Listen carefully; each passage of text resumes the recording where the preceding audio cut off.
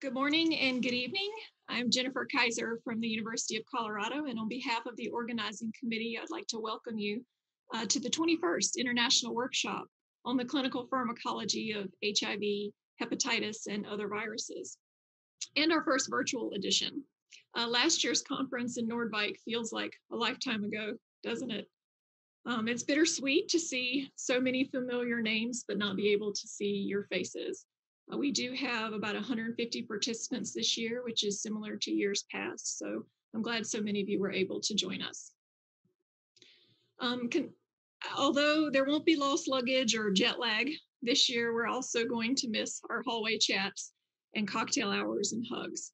Um, I hope you're all safe and well during these challenging times, and I'm grateful that we still have this opportunity to share our research and to connect as a pharmacology community. It's clear that our research is needed now more than ever.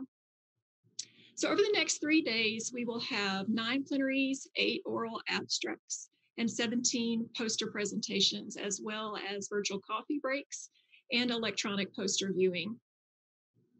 Victoria, our virtual conference host from Virology Education, will assist with keeping us on time and navigating the OwnAir software to optimize our virtual meeting experience.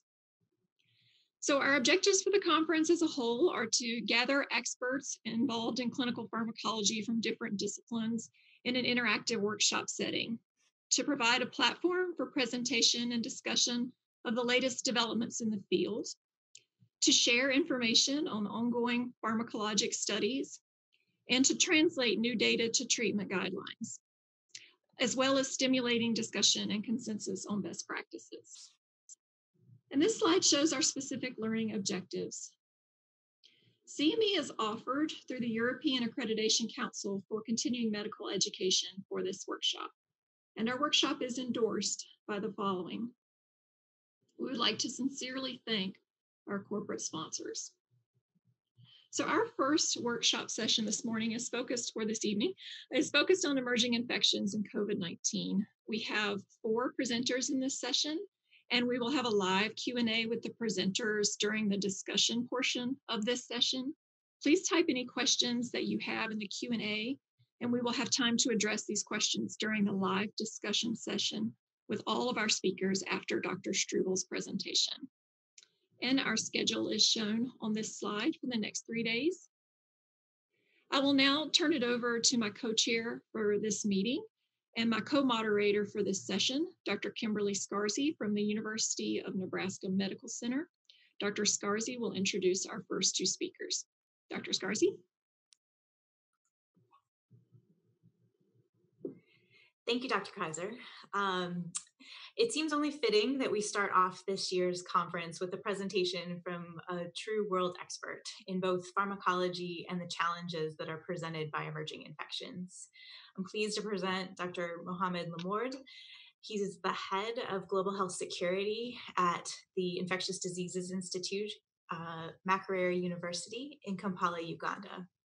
For well over a decade, Dr. Lamorde's work has focused on developing uh, capacity for clinical pharmacology that's relevant to global health, as well as enhancing HIV care and treatment and strengthening the medical system uh, to detect and manage disease outbreaks in Uganda. I'm pleased to introduce Dr. Lamorde in his talk entitled Emerging Infections and Biosecurity. I'd like to thank the organizers for giving me the opportunity to present on emerging infections and biosecurity.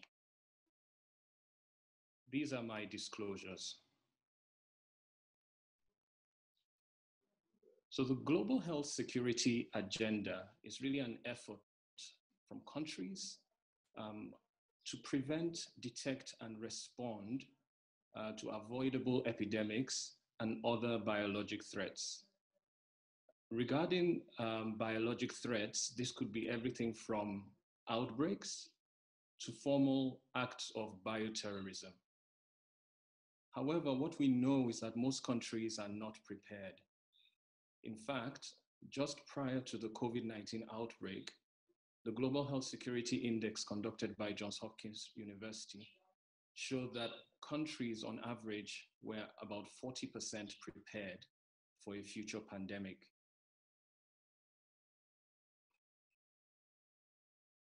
And some of these diseases are quite dangerous.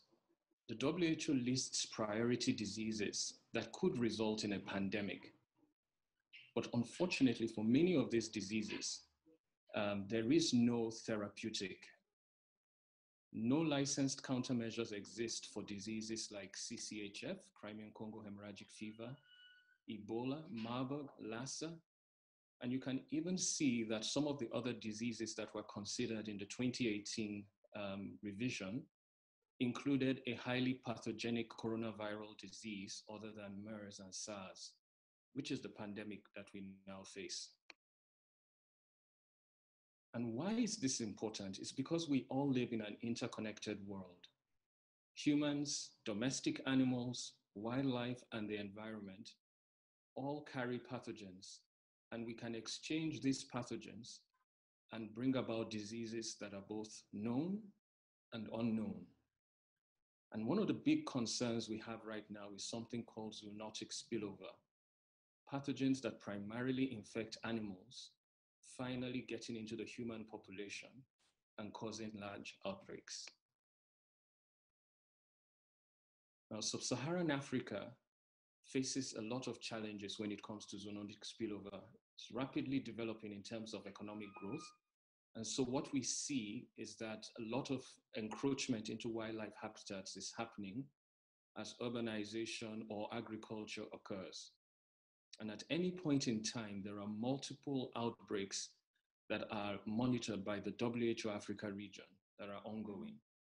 And we can see diseases that we thought were forgotten, like monkeypox, coming back, diseases like Ebola still wreaking a toll, and other diseases um, like plague um, that we thought uh, we had uh, better control of. And fragile states and insecurity are one of the big challenges that we face. When you have fragile states and insecurity, it leads to economic displacements and it leads to physical displacements of people.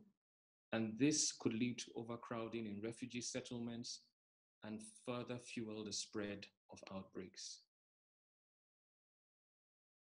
Western countries are very aware about the impact of rumors and myths on the potential to cause outbreaks and to actually hinder the control of outbreaks. And we've seen this in measles worldwide. In Africa, rumors around the polio vaccine caused a delay in controlling that outbreak uh, for more than 15 years. And we're seeing the same thing with COVID 19.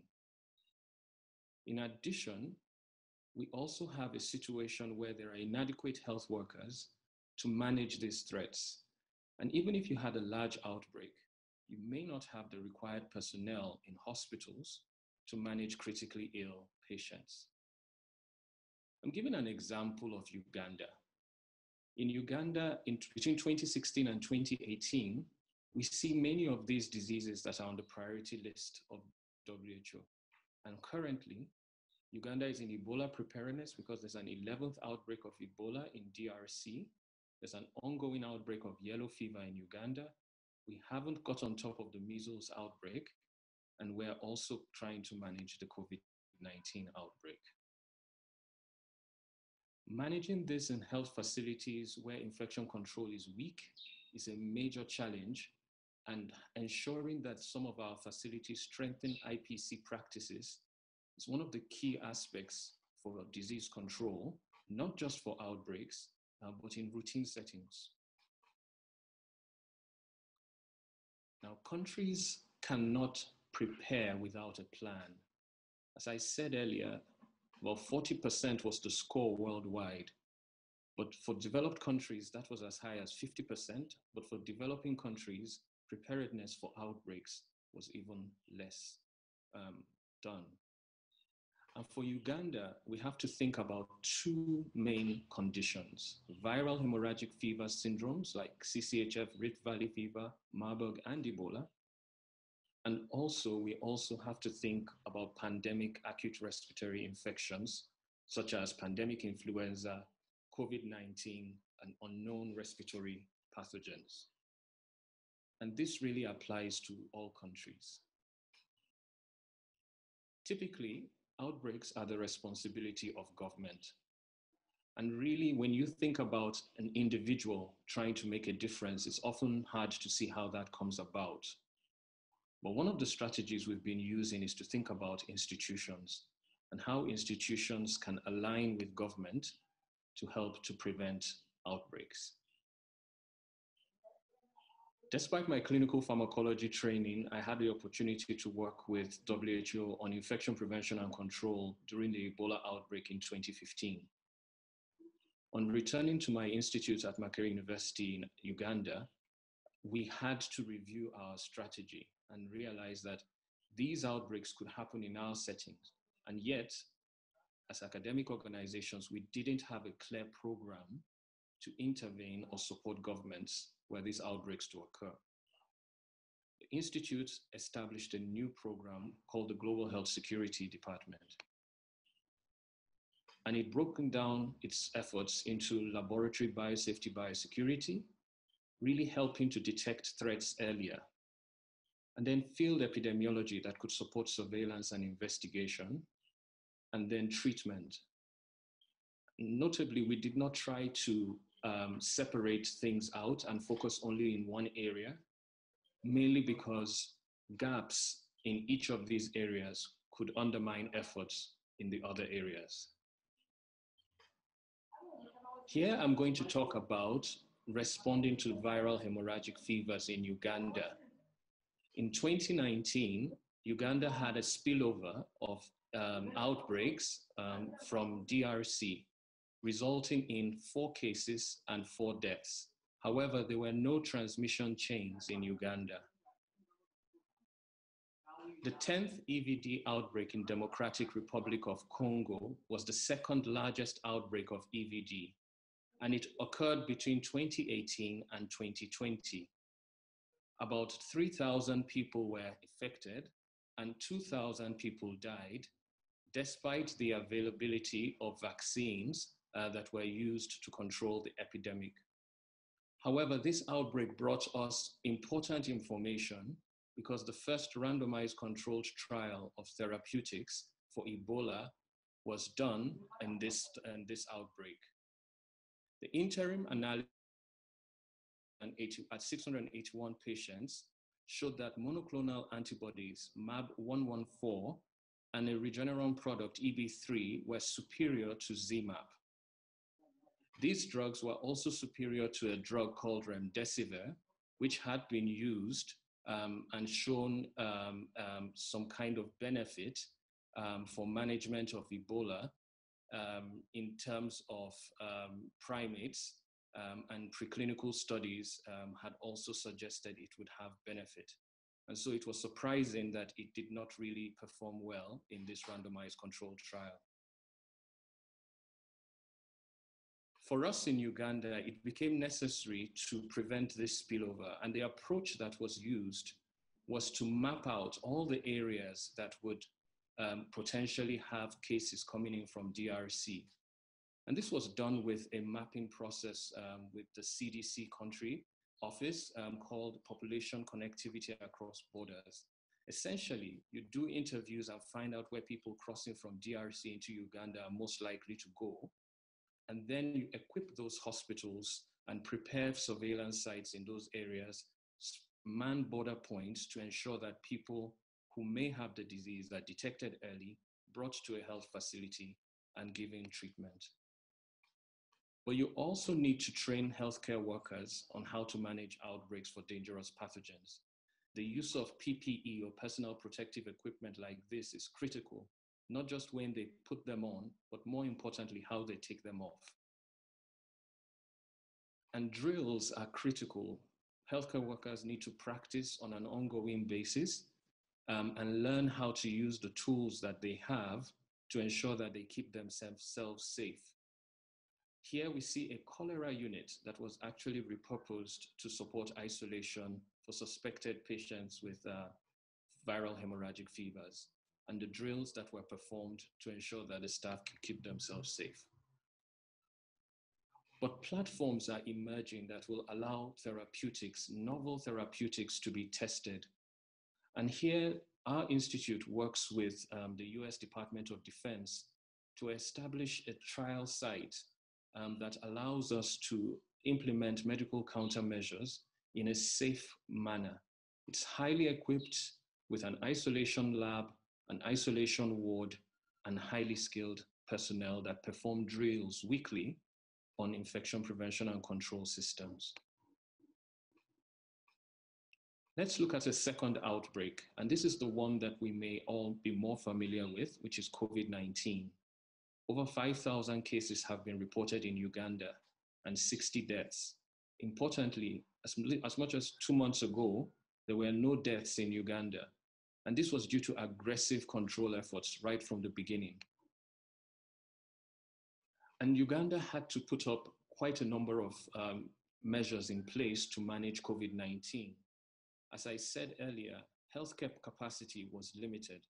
In fact, prior to the outbreak, the publication reported only 55 intensive care unit beds, most of which, of course, were occupied. Our institute, um, working with the government, was able to provide staff um, to support the situation room, to participate in national task force events, but also to support government in drafting out laws that could help in control efforts uh, for COVID-19.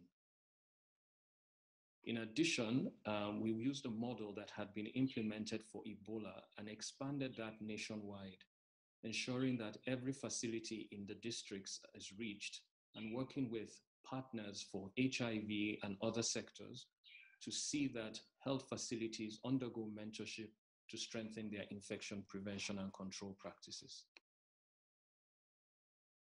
Laboratory testing was critical for Uganda's response. Initially, much, much of the testing was done at points of entry to prevent the spread of um, COVID-19 from other countries into Uganda.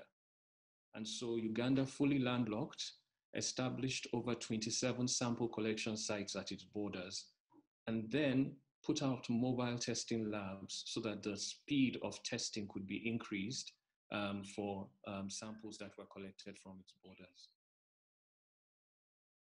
We also supported surveillance at points of entry, but also cascading that to facilities and to communities, such that in every village in the zones that we covered, there would be someone in that village called a village health team member that knows what COVID-19 is and can report if people have unexplained symptoms or deaths.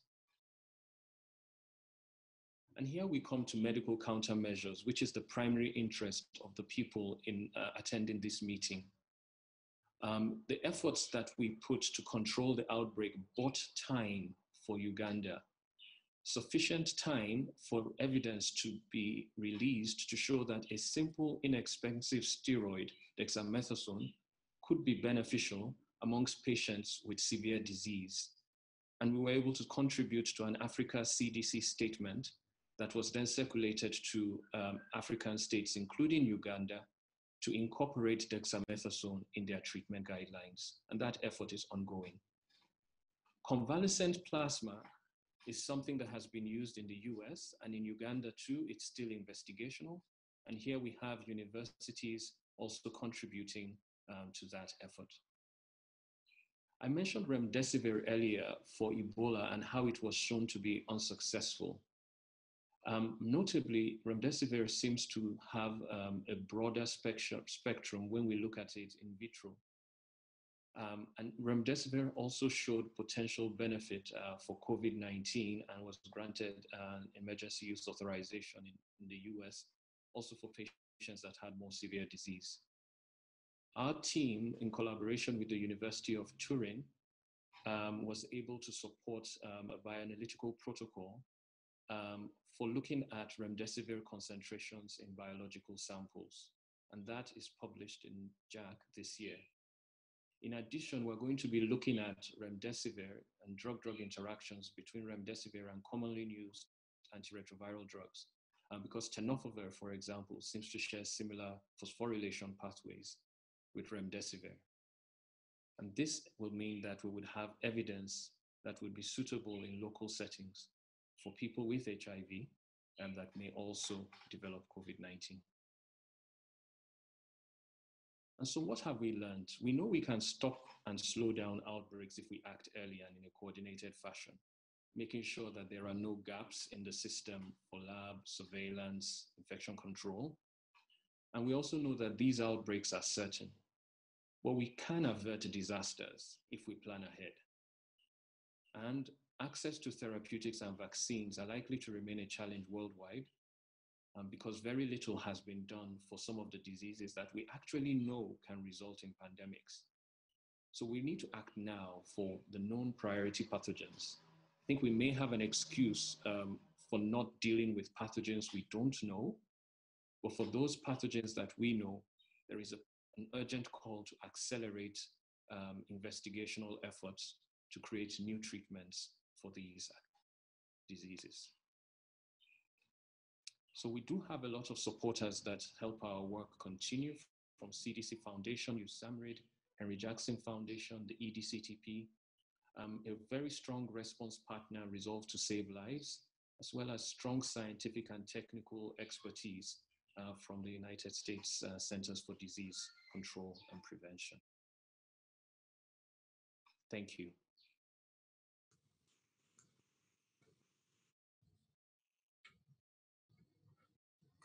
Thank you, Dr. Lamorde. Uh, next up, we are fortunate to be joined by Dr. Trip Gulick. Dr. Gulick is a professor in medicine and the chief of the Division of Infectious Diseases at Cornell Medicine. He's also an attending physician at New York Pres Presbyterian. We all know him well as his, for his expertise in HIV um, care, research, and treatment. Um, but he's also been on the front lines now for many months in the care of COVID 19 um, patients. Reflecting that, Dr. Gulick is the co-chair of both the D United States DHHS HIV treatment guidelines and now the US DHHS COVID-19 guidelines. We're fortunate to hear his perspectives today on, on current and emerging therapies for COVID-19. Dr. Gulick. Thank you. I'm pleased to speak about COVID-19 treatment. I have no disclosures. To understand COVID-19, we need to understand the clinical course of the disease and identify possible places for interventions. Someone acquires the virus at time zero and their viral load level of SARS-CoV-2 increases. Two to seven days later, they will develop symptoms and the viral load level reaches its highest levels at that point. Some patients will progress and SARS-CoV-2 will induce a cytokine storm with a profound inflammatory response, which can lead to respiratory failure and end organ disease over the course of five days. As ARDS occurs, some proportion of patients will progress and some will go on to death. So the approach to treating COVID-19 is to intervene at one or more portions of this clinical course. Antivirals, we know from other respiratory diseases, may have their best effect if used early on in the course of disease. Once the cytokine storm is brewing or has occurred, immunomodulators could dampen or interfere with that response. And then finally, when tissue damage of the lung or other end organs occurs, issues of tissue repair agents could help. So let's review these. It's fair to say there are no approved treatments for COVID-19 today, and our current standard of care is simply supportive, oxygen, antipyretics, etc. Interestingly, bacterial co-infections are initially rare. However, they may complicate a prolonged ICU stay. But there are many candidate treatments, antivirals, immunomodulators, antithrombotics, and cellular therapies. And I'd like to review some of these for you today. Let's go with antivirals. So to understand them, we need to understand the life cycle of SARS-CoV-2. Here's the virus over on the left with its spike protein, and here's the target cell with the ACE2 receptor sitting on the surface of the cell. And initially, this would be a respiratory epithelial cell.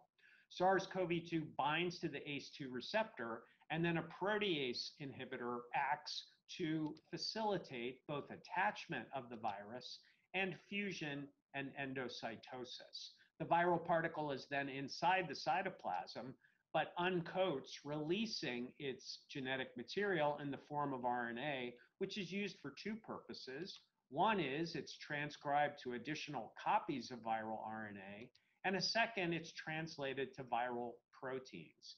These components assemble within the cytoplasm, migrate to the surface of the cell, and then are released into the system and may bind to another cell that they may come in contact with, infecting that cell. So the approach to antivirals has been to interfere with one or more steps of the life cycle of the virus. Entry inhibitors target that step early in the life cycle. Protease inhibitors target the translation and processing of viral proteins. RNA polymerase inhibitors interfere with transcribing. And uh, there are examples of all of these that have been tested. The antiviral agent with the best track record so far is an investigational antiviral called remdesivir. This is an RNA polymerase inhibitor that's an adenine derivative, so a nucleoside analog. It shows in vitro and animal data showing antiviral activity against SARS, MERS, the Middle East Respiratory Syndrome, and SARS-CoV-2, the virus that causes COVID. This compound was around in the time of Ebola, and actually there was a large clinical trial of over 500 participants, so establishing a safety record for remdesivir. It's available only intravenously.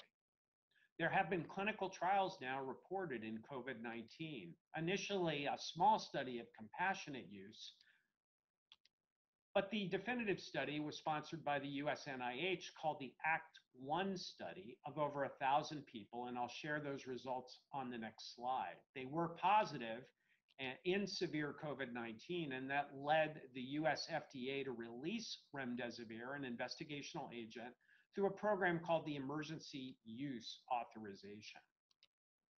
So here is the NIH study, the ACT phase three clinical study. It's multi-center, randomized, double-blind, and placebo-controlled, so the highest quality of evidence. It enrolled over 1,000 adults hospitalized with COVID-19 with evidence of lower respiratory tract involvement, and they were randomized to receive remdesivir or a placebo. This was given intravenously over the course of 10 days. The study endpoint was time to clinical recovery, that is to discharge or ready for discharge. The graph shows the proportion of people in each group who recovered, and you can see more than 50% of all participants recovered, but more people in the remdesivir group shown in blue compared to the placebo group shown in orange, and this reached a high degree of statistical significance favoring remdesivir. Among the individual groups, the subgroup that did the best were those who were hospitalized and receiving oxygen. And you can see that the point estimate and the 95% confidence interval fall in the range favoring remdesivir in terms of clinical improvement. Notably, people who are mechanically ventilated or on ECMO, this did not, in this subgroup, reach statistical significance. Overall, they concluded that remdesivir is superior to placebo. There have been other studies of remdesivir reported, one in severe COVID looked at just under 400 people who were randomized to different durations of remdesivir, five versus 10 days, and found no significant difference between those two lengths of therapy. And then in a similar study, people were enrolled with moderate COVID, which they defined as an oxygen saturation greater than 94%, but with documented pneumonia. They were randomized to either five or 10 days of remdesivir or the standard of care. And what did they find? Well, in terms of clinical improvement at day 11, the primary endpoint of the study, remdesivir with a duration of five days was statistically significantly superior to no remdesivir. And you can see that for you here. However, interestingly, the 10 day duration was not different than the standard of care, not significantly different. There were no new safety signals on the study, and overall, they concluded that the clinical status benefit did occur in moderate COVID 19, but questioned the clinical relevance. Remdesivir currently is intravenous, but subcutaneous and inhaled formulations are under study.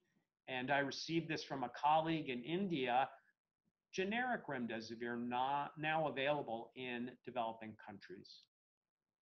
What about hydroxychloroquine? This is an FDA approved drug for the treatment of malaria and some autoimmune diseases, including lupus. Interestingly, it shows antiviral activity against SARS CoV 2 in vitro and has immunomodulatory effects. So, this was a candidate compound early on for COVID 19. Well, what do we know? Early on, there were case reports, cohort studies, and small clinical trials some of which showed benefit, but the data were conflicting and they did see some potential for cardiac toxicity. There have been at least four large retrospective studies that found no benefit two from New York State, one from the US Veterans Administration, and a large global study of over 14,000 people. However, that study was later retracted, reminding us that COVID is going so fast that sometimes even published data may not be verified. The highest standard of care, though, would be randomized clinical trials, and we now have those for hydroxychloroquine. In this study from Brazil, over 600 hospitalized people with COVID were randomized to hydroxychloroquine with or without azithromycin versus standard of care. And the primary endpoint showed no difference in clinical outcomes at day 15 and more adverse events in the hydroxychloroquine group. Another study from the UK, which is the largest study yet done, randomized over 4,700 hospitalized patients with COVID to receive hydroxychloroquine or not. And the primary endpoint no difference in 28 day mortality between the two groups. What about earlier stages? Could you use hydroxychloroquine in non-hospitalized patients? Well, a study from the US enrolled over 400 non-hospitalized patients with COVID to hydroxychloroquine or placebo and showed no difference in symptom severity or the risk of hospitalization. And finally, a study in Spain of non-hospitalized patients randomized them to hydroxychloroquine or no treatment and found no difference in terms of viral load reduction, hospitalization, or time to symptom resolution. Taken together, these suggest that there is no data to support using hydroxychloroquine in either hospitalized or non hospitalized patients with COVID 19. What about the HIV protease inhibitors? Well, of course, they're FDA approved, they do show activity against SARS-CoV-2 in the test tube. However, the pharmacokinetics of lopinavir ritonavir do not support its use for COVID-19. Why? Because you need a hundredfold greater concentrations than you can achieve by taking the swallowing the pills of lopinavir ritonavir to achieve inhibitory concentrations against SARS-CoV-2. There was one published randomized controlled study from China that enrolled just under 200 hospitalized patients with severe COVID 19, randomized them to lopinavir, ritonavir, or not, and they showed no difference in clinical endpoints of improvement, mortality, or detectable viral RNA.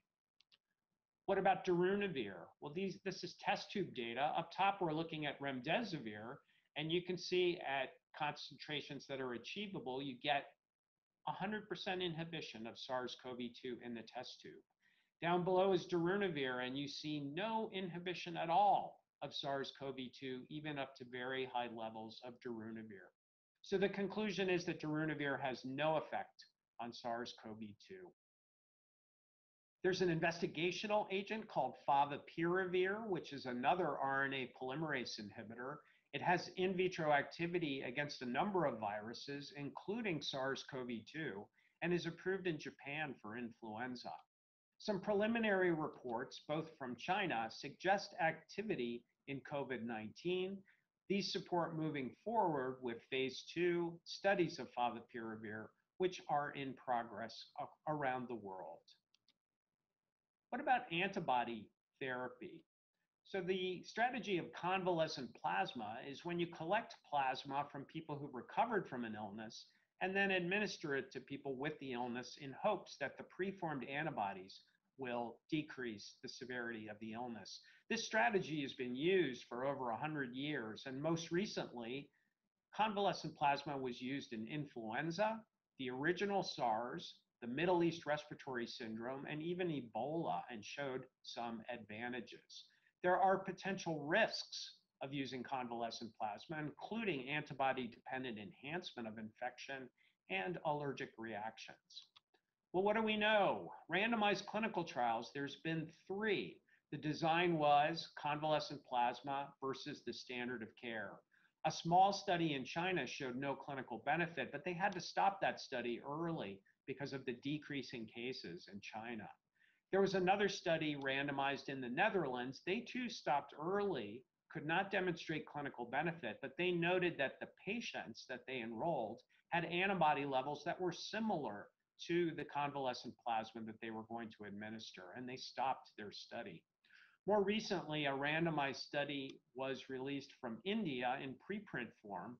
Over 460 people randomized to convalescent plasma or not, and they showed no difference in severity of disease or mortality. While the clinical use has been reported in additional retrospective cohorts, but again, these can be subject to bias. We do have a large safety record from the United States through an expanded access program. A total of over 20,000 patients have been reported, and they have shown very few, if any, side effects in this group. However, no conclusions about efficacy could be made because there was no control. Nevertheless, the US FDA authorized the release of convalescent plasma through the expanded use authorization with the uh, justification that it, quote, may be effective. They also caution that it does not represent a new standard of care, and what we need are prospective randomized clinical trials to demonstrate efficacy, and those are in progress right now. What about cytokine inhibitors? Can we interfere with the cytokine storm induced by SARS-CoV-2? Well, the best data we have in COVID-19 is for dexamethasone, the corticosteroid. This comes again from the large recovery study in the UK, where they've enrolled over 11,000 patients with COVID at 175 National Health Service hospitals.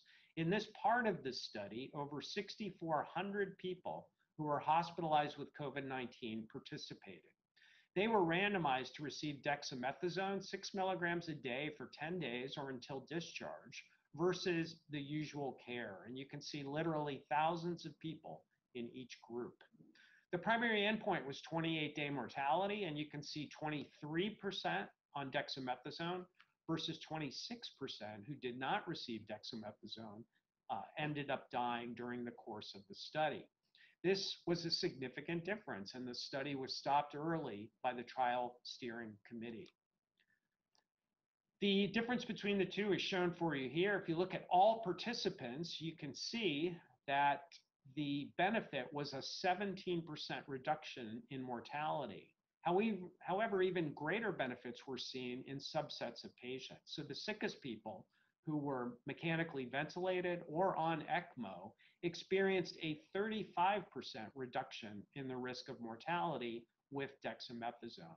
And the group that received oxygen only experienced a 20% decrease in mortality. So overall, the investigators concluded dexamethasone is associated with a mortality benefit in patients requiring oxygen, and this has now become the standard of care. While other approaches have been specific immunomodulators, and interleukin 6 was a primary target. Sarilumab is an interleukin 6 antagonist, and there were published retrospective cohort studies and case series that suggested benefit of using this compound. However, recently, and all we know is a press release, a randomized double-blind placebo-controlled phase three study of sarilumab showed no difference in clinical improvement uh, compared with the placebo arm. And a related compound, tocilizumab, also an IL-6 antagonist, again, cohort and case series suggested benefit, but Overall, the phase three study, which was placebo controlled, showed no difference in clinical improvement or mortality. So IL 6 antagonists not recommended in COVID. A number of other approaches are under exploration interleukin 1 antagonists, BTK inhibitors, and JAK inhibitors. And recent suggestive data came from a phase three study of baricitinib in the presence of remdesivir, showing a modest benefit compared to remdesivir alone. Again, this is in the form of a press release, and we look forward to reviewing full data on that approach. Lastly, cellular therapies. If you have damage to the lungs or to distant end organs, can there be a benefit in trying novel approaches? So current studies are underway with mesenchymal stem cells, human vein umbilical cord cells, or natural killer T cells. And these are all currently under study. So what can we say in conclusion about the treatment of COVID-19 today in 2020? There are no current approved treatments for COVID-19. However, remdesivir has shown clinical benefit in hospitalized COVID patients on oxygen, but not intubated. And dexamethasone has shown a mortality benefit in hospitalized COVID 19 patients requiring oxygen, with the greatest benefit in those who were ventilated or on ECMO. Additional antivirals, antibodies, immunomodulators, and cellular therapies are under study. I'd like to refer you to the NIH treatment guidelines. The web address is shown for you here. These are kept up to date. I'm proud to be one of the co-chairs of these, and uh, they are a wonderful resource to find the latest on treatment of COVID-19. And lastly, I'll just recognize my institution and a number of colleagues who helped with slides for this presentation. Thank you for your attendance. Thank you, Dr. Gulick, for that excellent talk. Just as a reminder, you can go ahead and put your questions in the Q&A. In fact, um, if we're short on time, it may be first come, first serve. So go ahead and good to get those in line. Um, also, as Dario did with his question, please indicate which speaker your question is for. So our next presenter is Dr. Andrew Owen. Dr. Owen is professor of molecular and clinical pharmacology at the University of Liverpool. And a major emphasis of Dr. Owen's research program in recent years has been using PKPD to accelerate oral and long-acting injectable nanomedicine candidates to clinical applications. He joins us today to share how his group has used pharmacology principles and modeling and simulation to select COVID-19 candidates. Dr. Owen? So it's a, uh, it's a pleasure to be presenting virtually to the, the conference this year. Um, I'm going to talk about some of the work that we've been doing on the role of pharmacology in selection of COVID-19 candidates. Fair to say there are many more questions than answers at the moment, so that's very much going to be the theme um, of my presentation. So I'll start with just some, some of my disclosures. So it's clear that the lungs are a primary target organ for infection, for replication, and for the disease phenotype. But we do know that ACE2 is expressed in many other organs, including the kidneys, the gastrointestinal tract, the central nervous system. SARS-CoV-2 RNA can be detected in stool specimens of patients for protracted periods of time, in some cases even after the virus has been cleared from the lung. Um, the virus induces acute tubular damage in some patients. We also know about uh, uh, uh some patients exhibiting liver, liver comorbidities. So I guess the first question that we were addressing is are therapeutic drug concentrations within the systemic circulation and other organ uh, uh affected organs going to be required for successful therapy and PEP?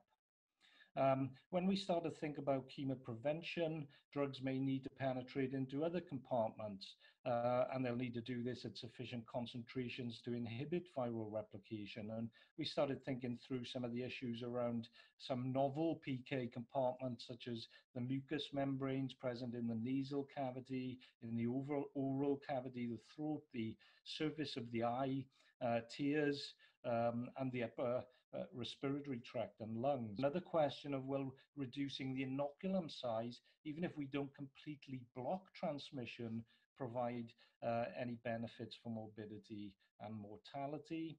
Um, and there's some evidence that higher SARS-CoV-2 RNA is indicative of a poor prognosis, and some very weak actually evidence that uh, for other pulmonary viruses that the size of the inoculum to which the patient is uh, initially exposed um, uh, may, be, may be associated uh, with disease severity. Now, there's been a number of calls for the application of clinical pharmacology principles to SARS-CoV-2 candidate selection, and, and, and some of these are, are summarized here from the British Pharmacological Society as well as other major groups. Uh, and many of these have focused on candidate selection, others on the safety of the putative repurposing opportunities, and then other work emerging, emerging on trying to understand the drug interactions um, uh, uh for COVID-19. One of the things that we've been doing recently um, as part of an international group across the US um, and, and, and Europe is, is trying to better articulate some of the consensus that has been achieved for protein binding in other antiviral programs uh, which we've all worked on, such as HIV and HCV. I think it's fair to say that there's been an under recognition of protein binding um, uh, in the early trials that were uh, conducted for SARS-CoV-2.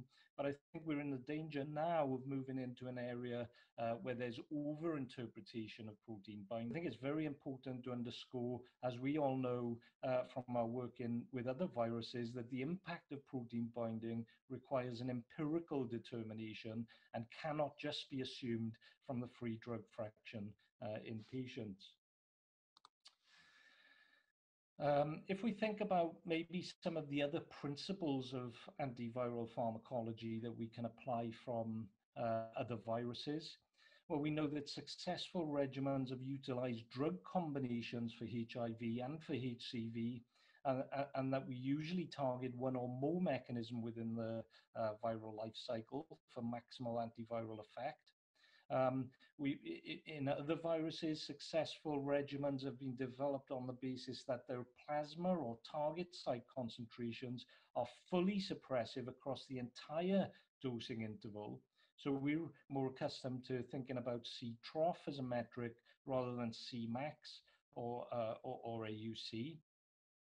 But it's important to recognize that the absence of empirically determined protein binding adjusted EC90 or EC95 values complicates our current interpretation of the existing anti-SARS-CoV-2 activity measurements.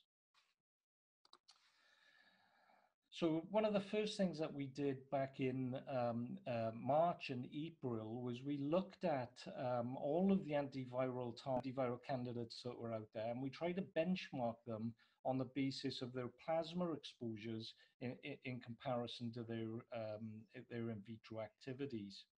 Um, now, at the time, there were um, uh, uh, 72 entries in the database with 57 derived EC90s. Unfortunately, most people are reporting EC50 and not EC90 or EC95 and derived EC90s where we could. And since for many of the drugs being investigated, they're not um, HIV drugs, and the main pharmacokinetic parameters that have been reported are Cmax or AUC. Um, so we did an initial investigation of the Cmax to EC90 ratio where available. This database is currently being updated. We now have 430 entries with 134 derived EC90s. But we've taken a tiered approach to candidate selection where we looked at this crude analysis of the Cmax EC90 ratio, then moved into an assessment where available of the full PK profile relative to the in vitro activity, um, and where molecules were close to achieving um, those, uh, the, those predefined concentrations, we went back and applied modeling approaches to see if we could uh, simulate optimized doses or optimized schedules, which would maintain uh, our trough values above the EC90 targets. There's lots of caveats um, in this type of approach, uh, so please do read the limitations carefully in, in our published paper. Now, one of the things which was obvious from this analysis is if you rank candidates purely on the basis of their in vitro activity, you get um, this list of most potent um, molecules, including drugs we're familiar with, such as remdesivir, hydroxychloroquine, some of the other four aminoquinolines. Um, but this actually tells us nothing about the pharmacokinetics from the approved dose of the drug. And of course, most of the repurposing opportunities which are being explored are directly repurposing the approved uh, uh, doses for SARS-CoV-2. Actually, when you look at the ranking in terms of the Cmax to the EC90 ratio, you get a very different list of drugs which appear to be at that point where the, the plasma concentrations for at least some of the, the, the profile exceed those concentrations which are needed for uh, activity against the virus in vitro. And just a couple on this list that I want to flag up because I'm going to talk about them in more detail is the remdesivir, uh, the nitazoxanide, um, as well as the daclatasvir. So nitazoxanide was um, a molecule which we looked at um, uh, very early on back in April. Um, there's uh, quite a lot of preclinical in vitro data supporting this molecule now. Um, the initial report was by Wang back in 2020, but it's been confirmed by several groups, uh, including for the major circulating metabolite of this drug, um, activity has also been reported um, uh, for the uh, uh, uh by the um, manufacturer of the branded product in the US uh, against other viruses such as bovine, canine, and human enteric coronaviruses, as well as influenza. The mechanism of action for SARS-CoV-2 is not has not been investigated, but for influenza, the drug appears to interfere with the N-glycosylation of the hemagglutinin of influenza. And it is interesting to note that SARS-CoV-2 spike protein is also heavily N-glycosylated, um, uh, is also a heavily N-glycosylated protein. There are several putative secondary mechanisms for action for this drug. It's been reported to amplify the host innate antiviral immune response for other viruses. And it's a, antagonist of this ion channel in the lung, which may uh, result in bronchodilation uh, within some patients.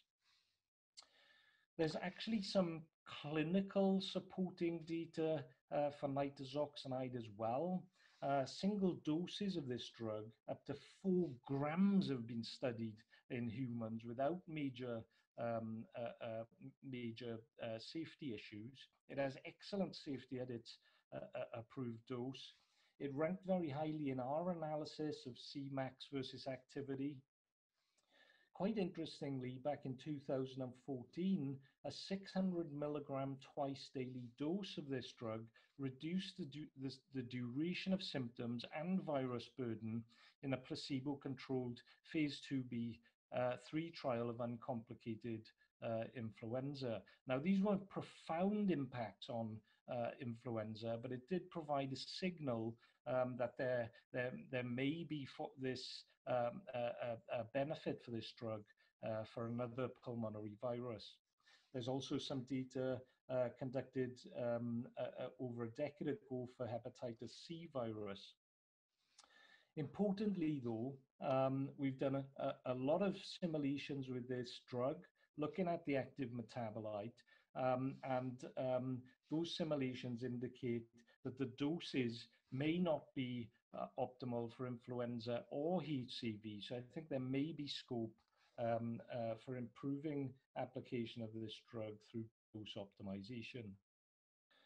So just to illustrate that point, this simulation here shows the uh, pharmacokinetics of tizoxanide after administration of a 600 milligram BID dose of nitazoxanide uh, and you can see the target concentration here set as the EC90 against influenza, and the drug barely creeps over at Cmax, those concentrations required for in vitro activity against the strains of the influenza virus. We, we did some dose simulations for this drug against the, the reported anti-SARS-CoV-2 EC90 values, and these predictions indicated that doses closer to 1500 milligrams um, or 1400 milligrams twice daily or 900 milligrams three times daily would provide concentrations in plasma above the in vitro EC90 um, in 90% of the simulated population across the entire dosing interval.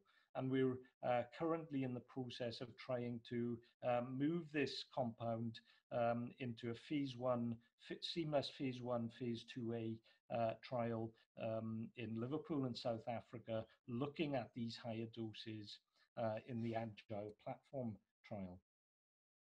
Now, there's been some recent interest in sofosbuvir and daclatasvir for SARS-CoV-2, and uh, this interest has come predominantly from several small trials which were conducted in Iran.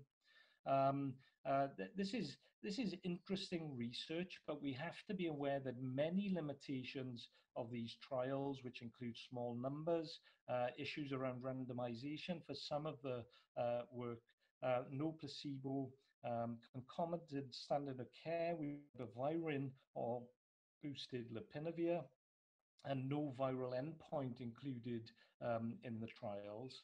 Um, but there is a signal of a benefit uh, from a meta-analysis. Now, the in vitro data for daclatasvir currently come from a single source preprint. Now, uh, uh, uh, it's, it's important to note that there are multiple reports for sofosbuvir uh, in the literature, um, but the other reports demonstrate lower or no activity of this drug against SARS-CoV-2. Just to summarize the in vitro data, um, the daclatasvir uh, um, uh, appears to have activity similar to that of chloroquine, um, and the sofosbuvir uh, uh, appears to have um, uh, activities in the region of lopinavir and ritonavir. Um, but uh, this group did demonstrate activity across a range of cell types, including the Vero cells as well as hum human uh, uh, models, which are thought to be uh, more relative, uh, relevant.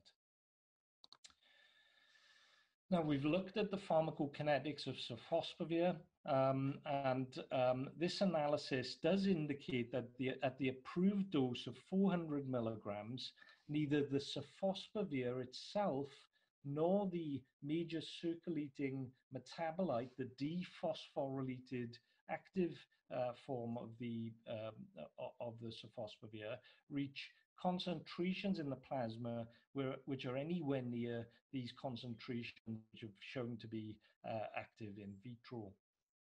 Um, so there may be some other mechanism at play there for the for this drug, but it doesn't seem very likely that this this drug is going to reach target exposures required for viral suppression uh, uh, for SARS-CoV-2.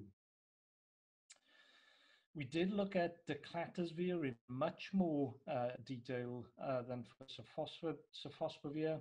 Um, uh, uh, daclatasvir simulations uh, indicated that uh, target concentrations, trough target concentrations above those concentrations needed to suppress the virus in vitro may be achievable um, but this would require uh, markedly higher doses than, uh, than the approved dose. Um, and our simulations indicate to keep the population above this C trough target, it require doses closer to 330 milligrams three times a day um, uh, in order to hit this target. Of course, we don't understand the exposure response relationship for SARS-CoV-2. So, uh, so we, and I'm sure we've got a lot to learn about this uh, over the coming months and years. I did want to just say a little bit about remdesivir. I think it's interesting to compare uh, plasma exposure response across the protide antiviral nucleosides. So I've just compared you uh, the, the indication for TAF in HIV, um, uh, in HCV, and then remdesivir and sofosbuvir against SARS-CoV-2. Now, this type, this class of drug is, is beneficial because it has a high penetration into the target cell. But we have to be mindful that the EC50 or the EC90 is an extracellular metric. It's not an intracellular metric. So it is, uh, uh, it is correct to compare those EC50, EC90 values to the plasma concentration or the tissue concentration and not to the intracellular concentration um, because the intracellular active form is different to the value presented for the EC50 or EC90 value. Now we know that in HIV for TAF, the prodrug exceeds those uh, EC50 values uh, uh, uh, by orders of magnitude and is maintained for a short period. But of course, this intracellular, high intracellular concentrations um, and this long intracellular half-life then maintain the activity across the do dosing interval beyond that. Similar for HCV with sofosbuvir, um, you can see with remdesivir, you do again exceed the uh, in vitro target concentrations early on, not to the same degree as you do with HIV and HCV, but again, uh, this demonstrates the point. And when we make that comparison with sofosbuvir again, uh, the target concentrations do not exceed this extracellular metric of the of, of the EC50. So some other thoughts about antiviral uh, development that we've been looking at. This is a, a paper we've submitted recently, uh, chasing COVID-19 chemotherapeutics without putting the cart before the horse. Um, I think it's important to recognize that a global pandemic requires a global solution um, and equitable access to the emergent medicines are going to be critical. Um, now, this requires thought during development about compatibility of the products with the global healthcare systems, um, which is also influenced, of course, by the use case, whether it's uh, prevention, whether it's post-exposure prophylaxis, or whether it's uh, direct treatment. And of course, when in treatment you deploy it, whether it's early in disease uh, or whether it's in late stage disease relying, I think, solely upon pre-existing formulations and posologies uh, optimized for other diseases carries inherent risk. Um, we accept that um, advanced formulation development may um, uh, uh, take longer to implement than a direct repurposing, but I think it seems likely that this may improve our success rate in finding repurposing opportunities for COVID-19.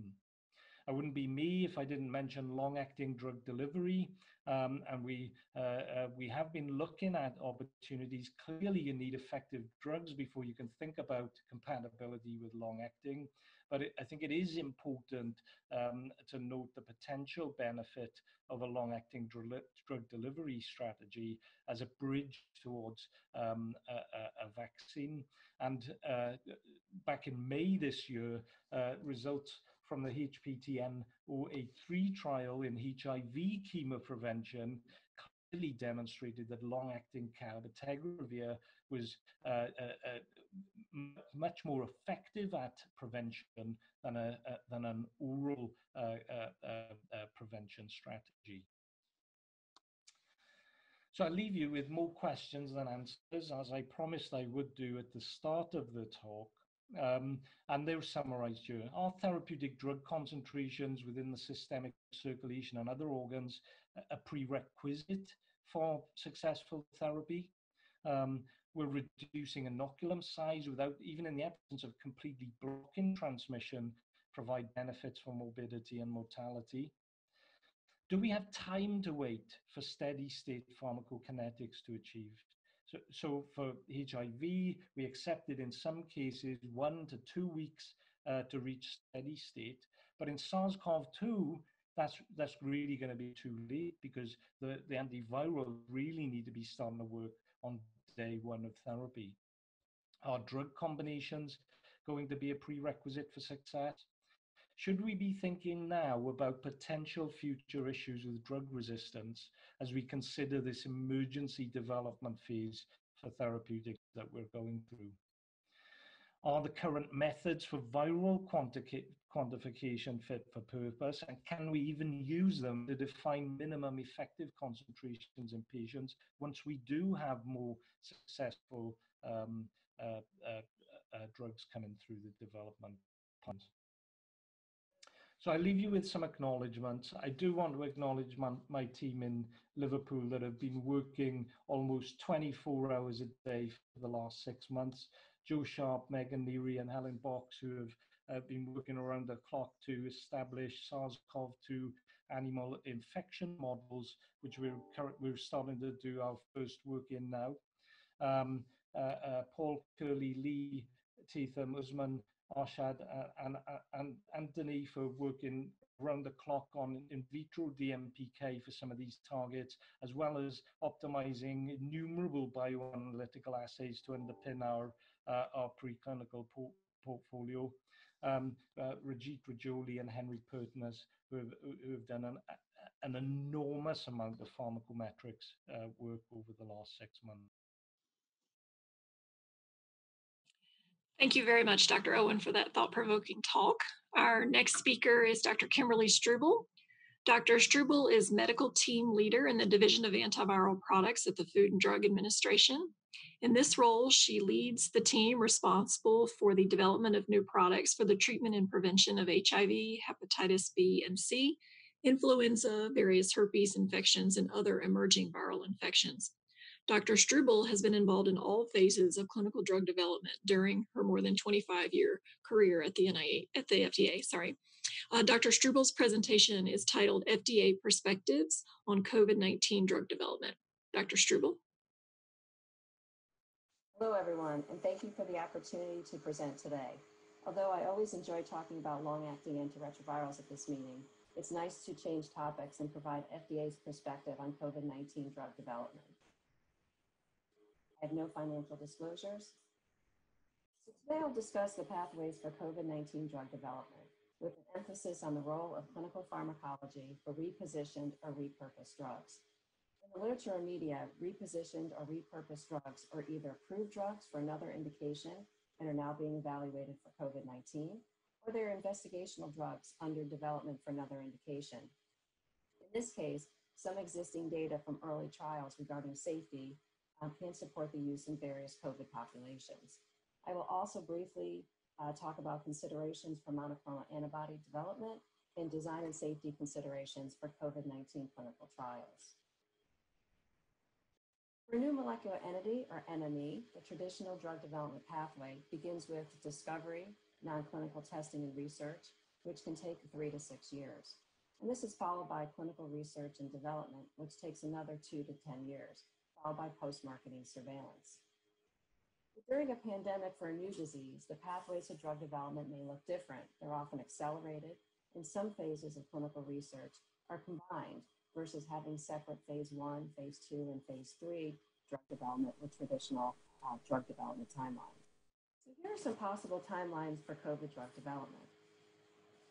A short-term development timeline may be months for repositioned or repurposed approved drugs investigational drugs in development for another indication. Examples of this is remdesivir, which was originally developed for Ebola, or an IL-6 inhibitor, tocilizumab, which is approved for rheumatoid arthritis. Midterm drug development timelines could be for vaccines, which can take months to years to develop. And for longer term development uh, timelines could take years for the discovery of a new mechanism of action or novel drug. However, in the advent of monoclonal antibodies for COVID-19 um, development, these novel products are currently being recruited in the US and other countries in clinical trials. So they took several months to develop instead of new, instead of several years to discover um, a, a new novel drug. Before I go into more specifics, it's important to note the rapid pace of drug development for COVID-19. When this data became available in May of, of this year by the FDA, we had over 570 programs that were in the planning stages for therapeutics, and over 270 trials were being reviewed by FDA. And these numbers continue to rise um, from May through September.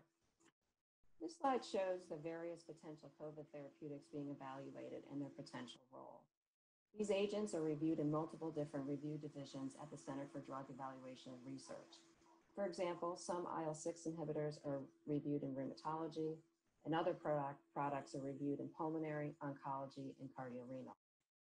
My comments today will focus on small molecules and monoclonal antibodies whose mechanism of action is an antiviral. I'd also like to point out that convalescent plasma is reviewed in the Center for Biologics Evaluation and Research and will not be discussed today in this talk. So given the rapid pace of drug development, it's important to strategize and prioritize the goals of research to ensure safe and effective products are brought to the public in an expedited manner. One goal is to get the right drug at the right dose to the right person at the right stage of disease. To move forward with a drug development program that may combine phases of drug development, it's important to first have pharmacologic plausibility, meaning to have data to suggest a reasonable mechanism of action or in vitro activity to support the prospect of use, or animal model data if available to suggest activity. Additionally, a sound rationale is needed. Then you can move into uh, clinical trials to evaluate proof of concept, safety, and then maybe additional dose finding trials are needed before moving into phase two and three combined trials. And I'll talk more about those uh, shortly.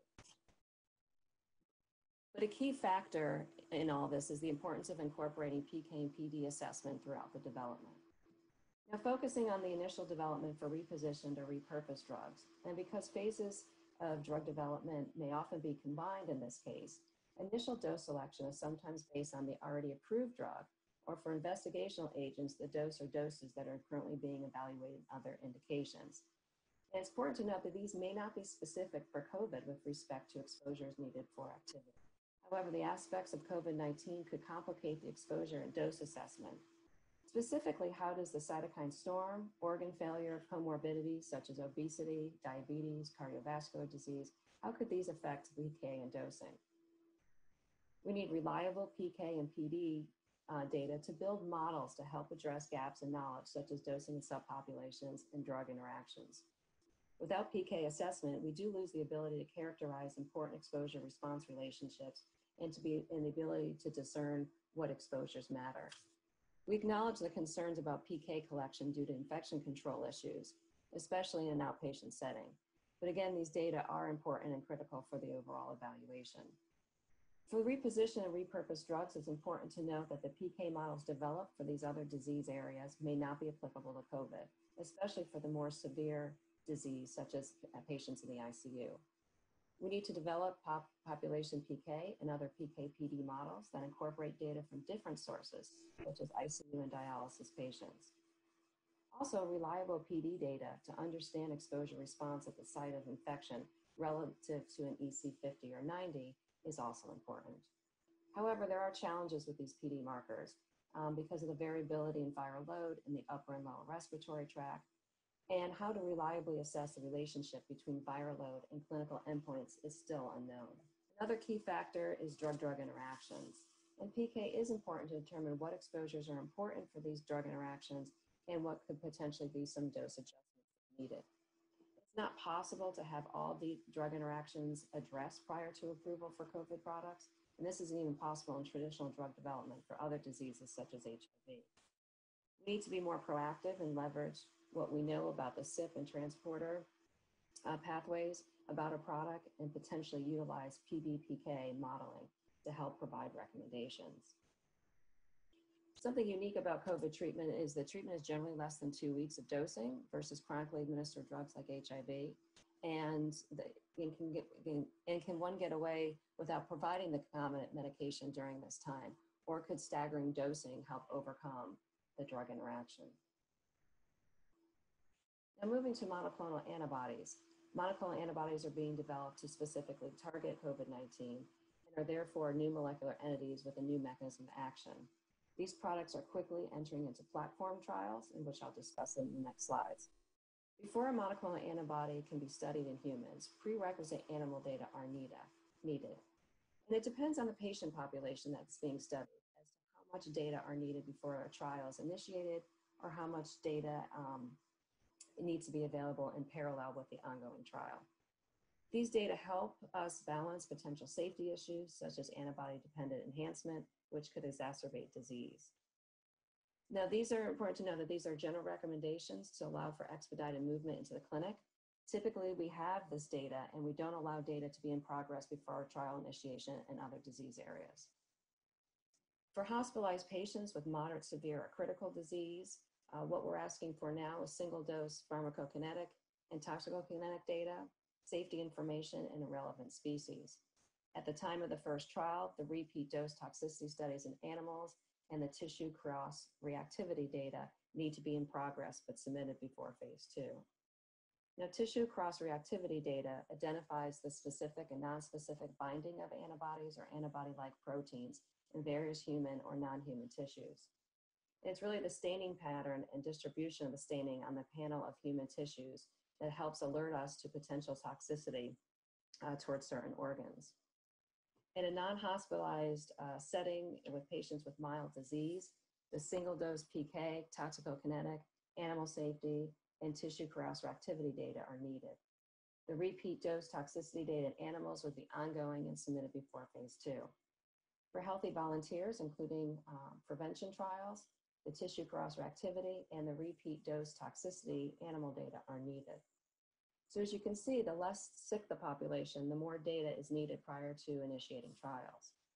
Also, another consideration is that in phase one, you can consider studying safety and PK in patients rather than healthy volunteers. In 2017, FDA published in the New England Journal of Medicine this review article about master protocols, which are being used more often today for diseases outside of oncology. This slide shows the innovative trial design and overview of master protocols, which are intended to simultaneously evaluate more than one investigational agent in parallel under a single protocol within the same overall trial infrastructure without a need to develop new products for every trial. Multiple intervention specific sub-studies or trials share key design components and operational aspects. And this promotes efficient and expedited late-stage drug development. And each specific intervention, sub-study, or trial contains all the elements specific to the interventions being studied, and these trials can run concurrently. So there are several types of master protocols. The umbrella study, the umbrella trial studies multiple targeted therapies in the context of a single disease. And a basket trial evaluates a single targeted therapy in the context of multiple diseases or disease subtype, and this is often done in oncology.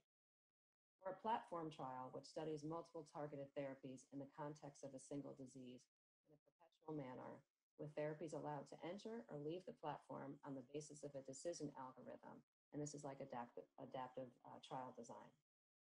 The Prevail 2 and PALM trials for Ebola were designed with the ability to evaluate multiple investigational therapies at once.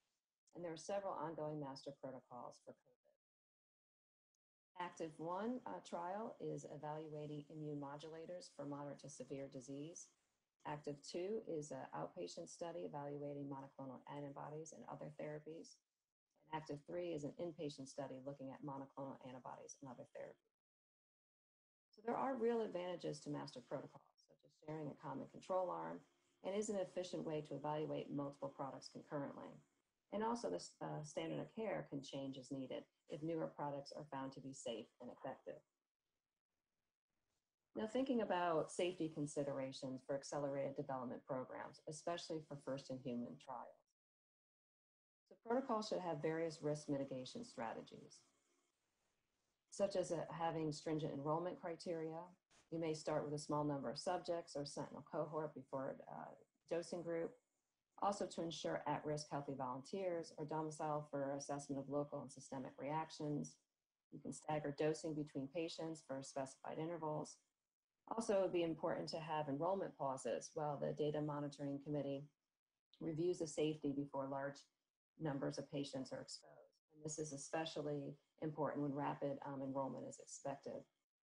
Also including stringent stopping rules for individual subjects, for the cohorts and the study as a whole, and also having a data monitoring committee and independent statistician to monitor for safety. In the case of monoclonal antibody development, also be able to assess if the rate of disease is higher in the monoclonal antibody treatment arm compared to standard of care. So in conclusion, drug development in a pandemic is accelerated, but should not compromise the rigorous evaluation of safety and efficacy in randomized controlled trials.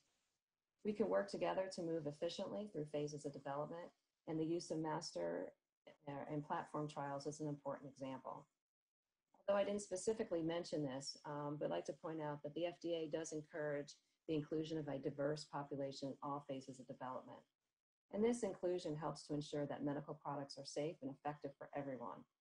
We strongly encourage the enrollment of populations that are most affected by COVID 19, specifically racial and ethnic minorities, and also encouraging enrolling pregnant and lactating individuals, provided that the um, non clinical information is available and favorable, and also enrolling um, pediatric patients. Also, want to stress the importance of these PK and PD assessments to utilize, when appropriate, modeling to help fill the knowledge gaps in dose selection, especially for dosing in certain sub- subgroups and drug drug interactions. And lastly, I'd like to acknowledge Vikram Arya, who helped provide the inspiration for this talk.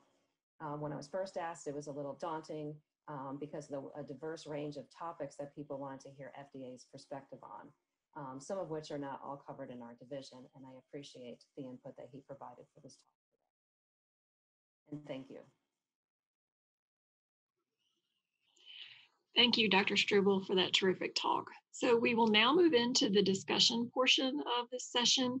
Um, please type any questions that you have in the Q&A if you haven't already. And Dr. Scarsi and I will then pose your questions to the speakers. We're going to try to use, um, start with the oldest and those that have most number of votes and spread it across um, speakers. And we are hoping that this will be interactive. Okay, I think the first question that came through was for Dr. Gulick. And this question was, um, you know, which, what are the potential explanations uh, for the failure of remdesivir in patients on ECMO? Uh, were there differences in the PK of the drugs? Was that tested? So I think the most likely reason that remdesivir does not show the same level of activity at people who are sicker may well be that the cytokine storm is in full course.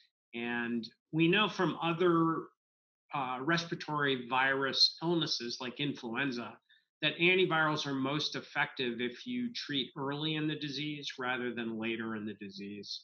Uh, to directly answer the question, I'm not aware that they did pharmacokinetics in people who were ventilated or on ECMO.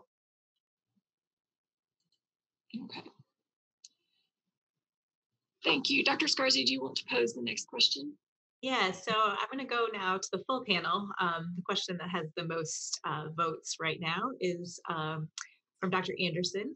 So for the panel, is there a change in COVID virulence? It seemed like in March and April, we had a much higher rate of hospitalization and mortality compared with the recent summer and fall spikes that we've been seeing. And so for the panel, do we think that this is the case? Um, and if so, what may, the, what may be the explanation?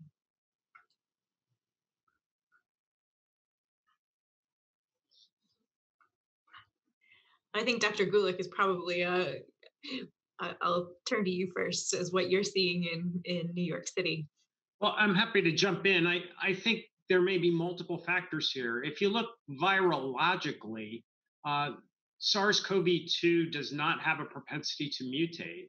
Um, so, looking at circulating strains around the globe, the differences among them in terms of genetic changes are small.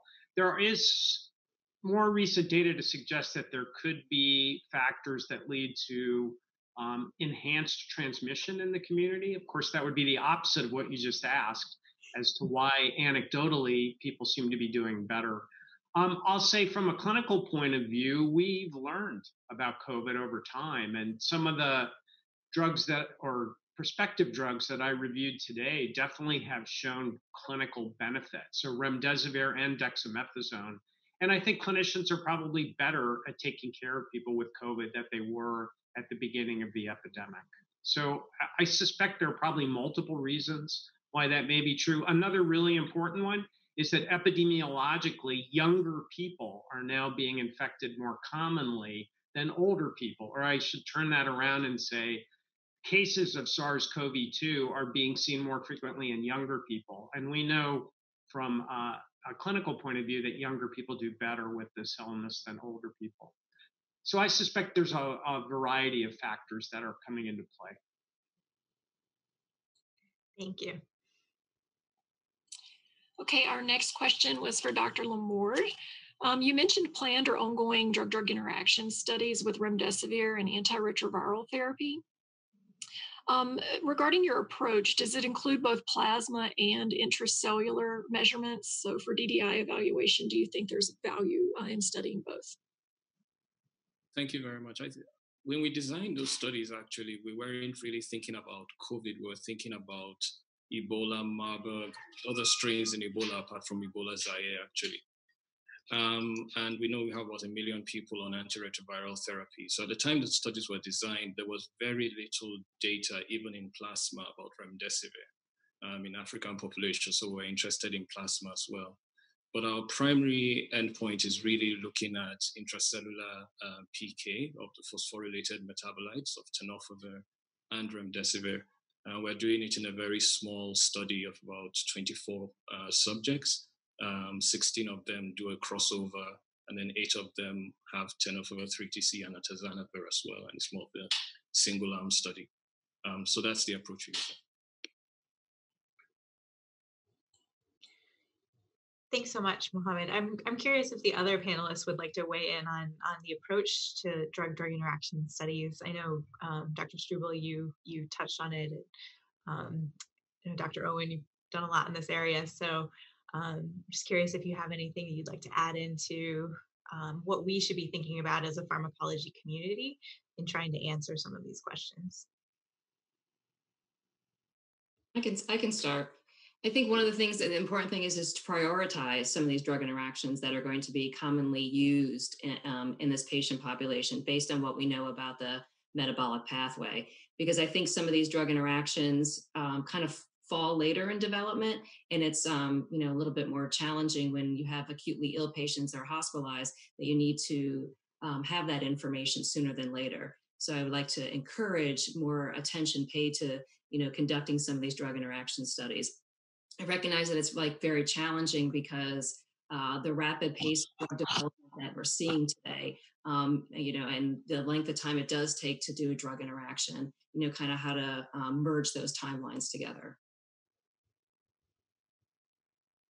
I I agree, Kim, with everything that's been said. One of one of the things that we have been trying to do is see if there's any beneficial drug interactions as well.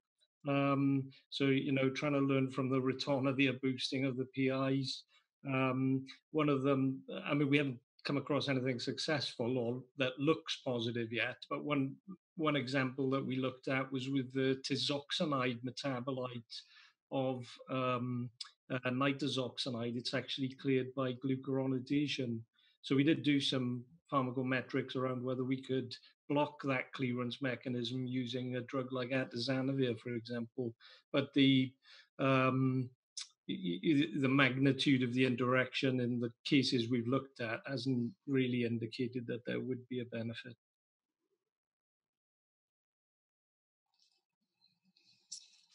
Okay, um, next question for Dr. Gulick and Owen. In the Discover study, they're testing sofosbuvir daclatasvir on top of the country-specific treatment regimen. Given available evidence that lopinavir, ritonavir, and hydroxychloroquine do not work, likely because they cannot achieve high enough concentrations in target tissues without compromising patient safety with the markedly higher dosing required, why are these therapies being studied in conjunction with SOFDAC? Is adding on drugs to therapies with poor data supporting their use really the best strategy moving forward?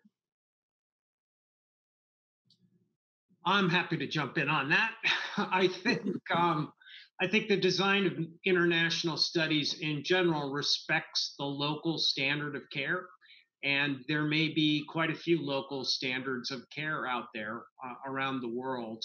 Um, data are getting out about the drugs that you mentioned, lopinavir, ritonavir with its PK challenges, um, hydroxychloroquine with its efficacy challenges.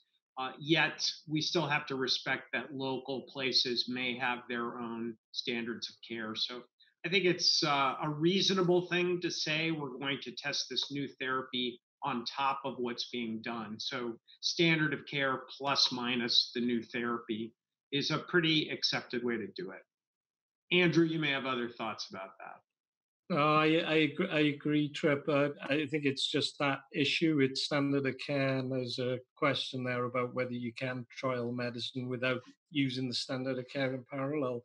Actually, the the uh, the use of uh, Kaletra in Iran prompted us to look at um, whether the co-administration of lopinavir and ritonavir might boost the daclatasvir because of the shared metabolic um, uh, processes. But um, again, the, the interaction between the two didn't provide an indication of that much of a boosting of um, uh, of to overcome the deficit in the uh, plasma exposure to the in vitro activity.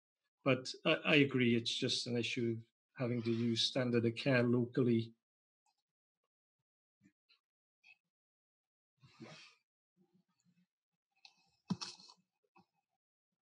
Okay, um, so the next question we have up is um, for Dr. Gulick again.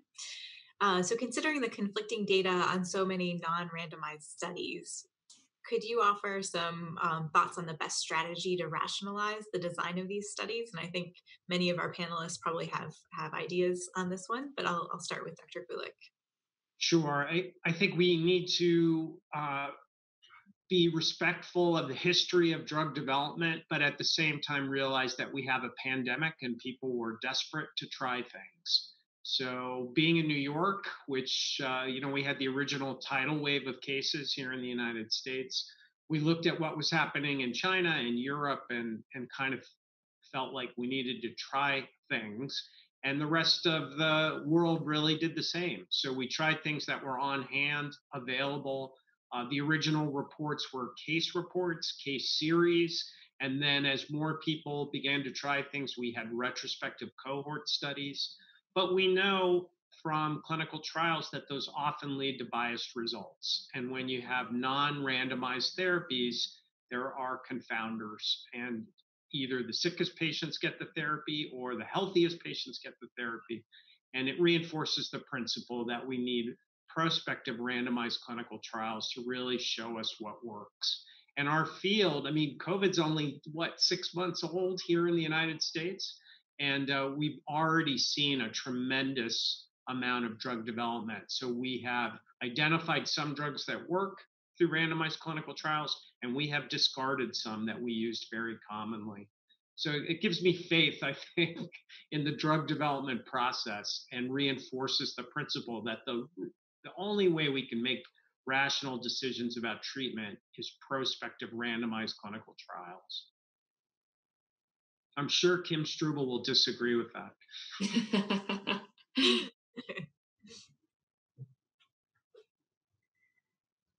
Well, let's kind of keep with that topic. So Linda Lewis asked a question for the panel. You know, platform trials seem to be a good mechanism for repurposed drugs. How do we get new products in early development into platform trials that will evaluate multiple products um, at the same time. This seemed to be the mechanism for evaluating Ebola products, but hasn't been used, it seems, for COVID.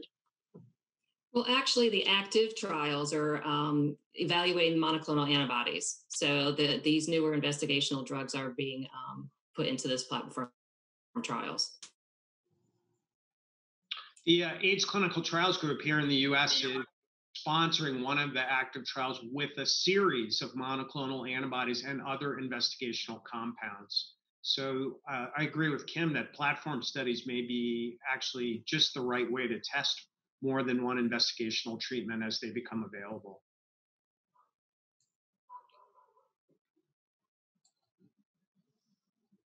All right, I'm going to turn the next question uh, to Dr. Owen.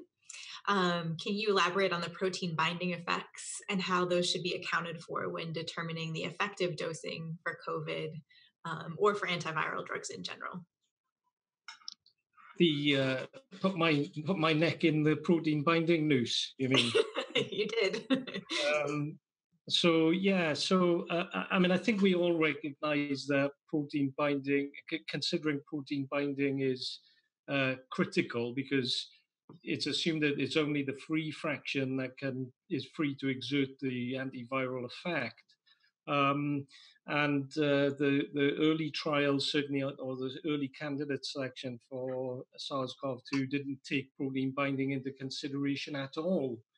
Um, but uh, as we move to the, the next phase now of, of candidate selection, I think we've got to be mindful that we, we can't just we can't just correct the free drug concentration in plasma and compare that to the uh, in vitro antiviral activity um, for several reasons, but uh, most importantly because there's protein included in the in vitro studies when the EC50 is generated.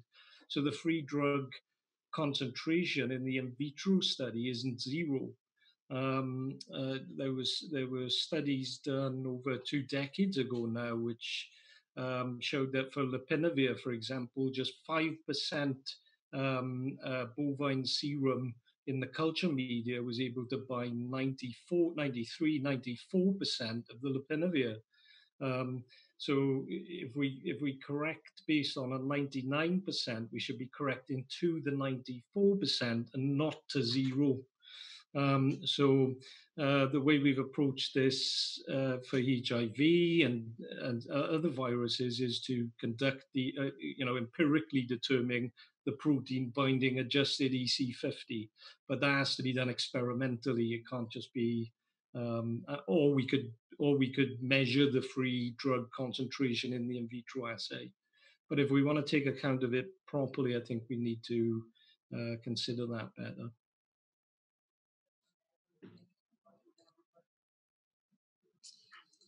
Okay, um, I'll take a question here from uh, Paul Domenico. Uh, Dr. Gulick, thoughts on progress to modulate the bradykinin storm? So this is a, a newer area that's been identified um, is whether the so-called bradykinin storm could explain some of the end organ damage and the complications we see in COVID, um, either in parallel to or exclusive from the cytokine storm. And uh, I, I don't know that anybody's targeting this yet. This has really just come out in recent weeks that this could be another plausible way that COVID uh, wreaks, wreaks uh, damage. Um, so if it turns out to be substantiated, obviously it's a target for potential uh, interruption with drug therapies.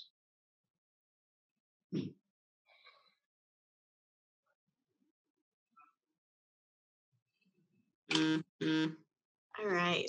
Um, so our next question here looks like it's uh, from Dr. Uh, it's for Dr. Gulick and everyone. Um, do we have any idea on the influence of severe inflammation on the PK of remdesivir in convalescent plasma? Um, Jose wonders if this may explain the lack of and conflicting results in advanced disease. And I noticed um, Dr. Struble, in your talk, you, you mentioned kind of the importance of uh, building PBPK models around um, critically ill patients. And so maybe this is a topic area that you could jump in on as well. Kim, you want to start? Oh, you can go ahead. well, I'm, I was just going to reiterate that I think when you're using an antiviral in this illness, you want to use it early. And uh, whether it's the inflammation or just the fact that once you get the st- cytokine storm revved up, that uh, the cat's out of the bag in terms of the virus a bit. And, uh, and that's when we begin to focus on immunomodulation. Um, the dexamethasone data is so impressive. Um, and then people are trying to parse the cytokine storm, or as we heard, the bradykinin storm, um, into pieces to try to to affect or inhibit or, or change those responses. But uh, I think probably all of that is relevant. I know less about the effects of inflammation on altering the PK. I'd be interested to hear from my fellow panelists about that. Uh, so there are um, a number of, and I, it doesn't relate to remdesivir, but there's obviously a lot of literature emerged on the impact or, uh, um, of COVID-19 on lopinavir pharmacokinetics, um, which seems to be somewhere between two to four-fold higher in COVID-19 than it is in, uh, he, in during HIV infection. So I think we've got a lot to understand about that. I'm not sure we know the mechanism. Right. And I think also some of these things could be different for our small molecules, which are antivirals versus uh, monoclonal antibodies. And how do we, you know, factor that information in as well? And what information about inflammation can we leverage from other therapeutic areas uh, to, to help with some of these models? And I think it's just so challenging that this is, you know, moving so rapidly that you usually have a little bit of time in early drug development to, you know, work some of these issues out. But these are being done not even in parallel because sometimes things are happening faster in clinic in terms of getting information on safety and efficacy than working on these very important issues to help build these PKPD models.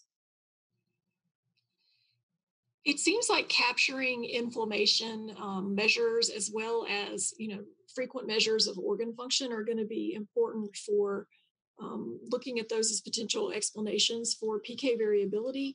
Is there any guidance for exactly what those inflammatory markers, the most useful ones might be for these trials? I think we're still learning mm-hmm. about this. People have uh, nominated a whole series of markers, and some of these have been linked to clinical outcomes, like D dimer, for instance. Um, but there are a whole host of things you can measure. I think one of the biggest challenges is we say the word cytokine storm, but that really can be many, many, many different cytokines um, and, and, other reactants that are coming into play. I, I'm not sure we know enough about which ones to measure that could be important for clinical care, much less for the PK implications. It's really a challenge, I think. Okay, um, I had a question for, for Dr. Lamorde. He mentioned that a significant need, there was a significant need to conduct studies with WHO priority pathogens. Um, but what are the greatest barriers to conducting those studies? Is it lack of therapeutic agents to study? Are there uh, infrastructure issues with conducting clinical research in the regions where we need to do the study? Or, or what, what are the, the biggest challenges? So Jennifer, I think that's an excellent question. Eh, and it's the combination. I think you need to have research teams in the locations where these outbreaks would occur. And those research teams need to be trained on an ongoing basis. If you really want to do these studies during outbreaks, um, I think that's one of the most challenging types of um, research endeavors one can take on. Um, the issues with the research during uh, during outbreaks is that you have this situation where the regulators and the government need to agree on an approach, and often at the time the investigator is putting all the protocol, um, you know, either the government has not made a decision or the regulator is not really confident about the data that they already have. Um, what we've learned from Uganda is that it makes sense to plan ahead preposition protocols, preposition teams have that research standby effort to be just a fraction of their uh, of their of their daily job. So they maybe do 20% for research preparedness, or maybe 80% they do on ongoing sepsis work. And then you can rapidly bring up the teams when you have the opportunity to do the research. Um, but engaging with the stakeholders, um, outbreak, um, government, um, um, officials and regulators it's often years and years in advance is really the only way that you know we see this happening uh, in a smooth manner thank you I'm uh, glad to see a couple uh, discussion comments coming in from the audience. So I'll just summarize um, two from Dr. Castillo Mencia. Um, he mentions that uh, C-reactive protein, pro, C-reactive protein and the procalcitonin ferritin ratio have been associated with risk of intubation and mortality. Um, so perhaps that's one place to uh, start with um, our prior conversation. And then he also poses, um, I think, an interesting discussion point that now that the the vaccine studies are underway, it'll be interesting to assess the efficacy of remdesivir and other drugs in patients who receive the vaccine versus placebo, um, sort of as a, a build on from Dr. Anderson's question. So does anyone want to comment on how we're going to approach these um, antiviral studies in combination with the vaccine studies? I think that would be somewhat similar to what we do with influenza trials. I mean, we look at the efficacy those who had prior vaccination versus those who do not do not. And also take a close look to see if there would be any vaccine interference um, information that would be useful to leverage um, before embarking on those studies as well.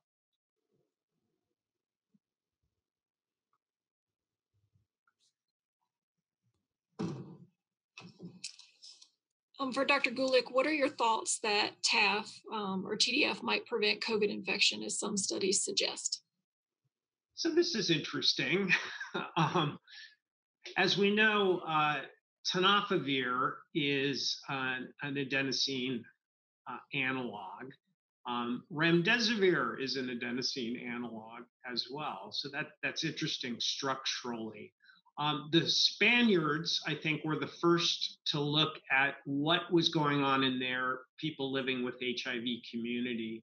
And they reported on several hundred people, um, some of whom had developed COVID. And then they attempted to associate what antiretrovirals they were taking for their HIV disease and what was the clinical outcome with COVID. And somewhat surprisingly, they found that people who were on TDF had over 50% reduction in some of the complications of COVID. So, at face value, you might say, hmm, does uh, TDF have a preventative effect on COVID? But again, this was not a prospective clinical trial, but rather a descriptive uh, cohort study. And it makes you think about confounders. So the big question is, well, why were those people on TDF? And was this a group who perhaps were younger without evidence of complicating illnesses that would have made you avoid TDF, like renal failure or cardiovascular disease or other things? Or more simply put, was it a younger group that was still taking TDF as opposed to TAF or some of the other alternatives? And might that explain the COVID outcomes? But nevertheless, that was kind of interesting to see. Uh, another study from the Western Cape in South Africa uh, looked at all people living in the Western Cape and came up with the same association that people with TDF were statistically significantly less likely to have complications from COVID. But again, TDF is first line therapy in South Africa. So if you're not on it, chances are it's because you have some kind of a complication. So it might be the same confounder operating there as well. The Spaniards, though, took it to the next level and said, we're going to do a prospective randomized study of TDF for the prevention of COVID. And that study's in progress right now. I, eh, we looked at that on the guidelines and recommended that people not change their antiretroviral drugs to try to uh, prevent COVID. Uh, that the the information is not solid enough really to provoke changes in therapies among stable patients. But it's provocative.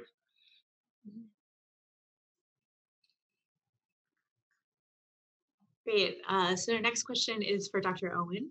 Um, how important are plasma concentrations in determining the best drug candidate? Um, and you, I know you mentioned lung concentrations and, and other tissue concentrations. So have those been able to be taken into account in your simulations that you presented? Can I, can I just say I don't know and leave it at that, Kim? um, this is this is an interesting one. So in our original analysis of the candidates that we published in CPT back in April, um, we did actually integrate um, a well-known pharmacometric equation in order to estimate the lung penetration as well. And we benchmarked candidates on the basis of their uh, their expected lung accumulation. Um, now those those equations are quite robust. They they they they they rely on physiochem, of the molecule, and the composition of the tissue in order to estimate the accumulation. So they don't tell you about where within the tissue the drug is. So, you know, that could be important. It, it, a, a, a, lot of drugs are estimated to accumulate in the lung because of lysosomal trapping. Um, and therefore, the, the, concentration might be high because the drug is all trapped in the lysosomes. Um, so, so, so we can't, we don't have good equations to try and work out whether it's in the epithelium or you know where in the tissue it is. Um, but the, I kind of moved away from that over the last couple of months, and uh, uh, and probably the main reason for that was that the four quinolines, the drugs like chloroquine, hydroxychloroquine, they're predicted and actually do accumulate to a huge degree in the lung, um, a, a hundredfold, you know, uh, two, three hundred fold accumulation in lung tissue compared to plasma, and yet they still don't work. Um, now, uh, you know, as well as that, um, we've got, um, um, you know, we've got data emerging all the time about ongoing viral replication in other tissues. So, whereas the disease phenotype is restrict, you know, you know, predominantly within the within the lung, I'm not sure that just hitting the virus in the lung is going to be sufficient. But I don't know.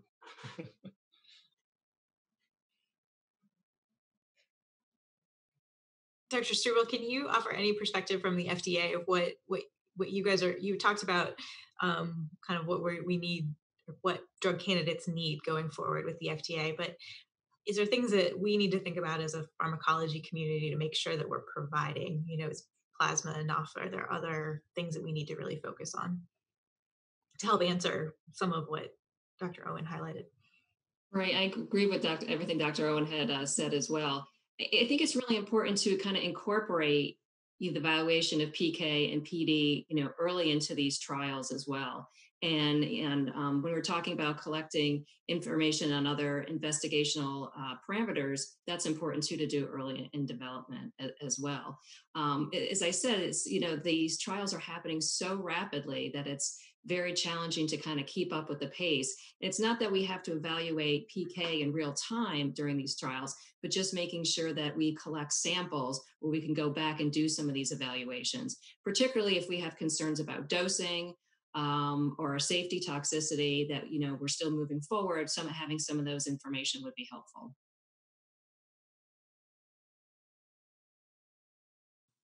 I'm going to ask um, Kim's question of Dr. Lamorde. How have emerging infections impacted care programs for other chronic and infectious conditions in your setting? How can we help to ensure that progress is not significantly hindered by COVID or other emerging infections?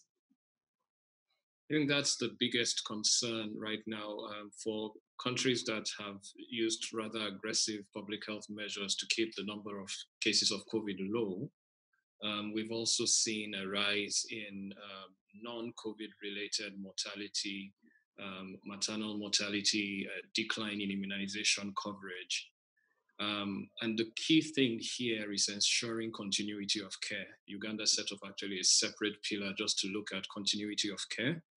Um, and um, what we see as the main disruptors are healthcare worker infections. And so, really narrowing down to protect healthcare workers, supporting infection control in healthcare facilities, avoiding healthcare worker deaths.